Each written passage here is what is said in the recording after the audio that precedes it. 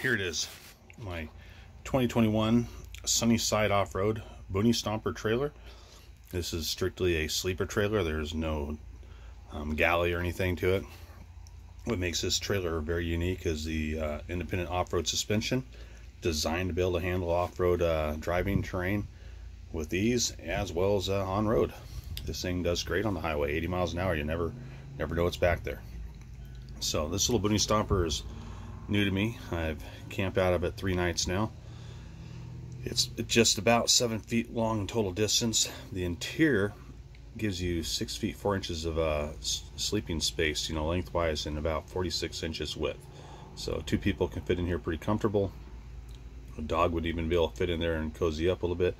Comes with uh, dual doors on both sides. This particular model has the solar package, the LED light package, so I get LED lights on both sides of the trailer, kind of like a little porch light.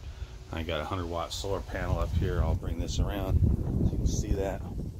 Sun's out here a little bit. So there's my 100 watt solar panel. My self powered roof vent uh, has forward and reverse speeds for uh, pulling air in or out.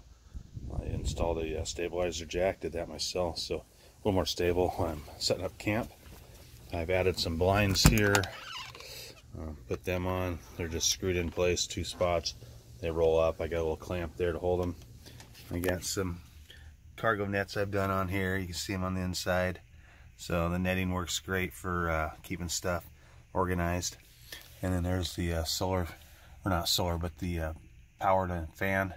I got one little ceiling fan or light. And then obviously my cupboards. And this came with the uh, mattress in it. So this is pretty much it sums it up. Uh, the overall specs on this is something like just about 600 pounds total weight.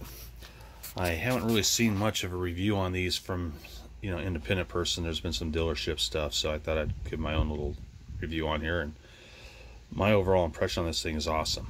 It's not a lot of room for you know a family by no means but to be able to have the ability to take this thing somewhere that my uh, 4Runner can go and I'll go ahead and here really fast. Here it is, 99 4Runner, 33 inch tires, full suspension, and a locking rear differential.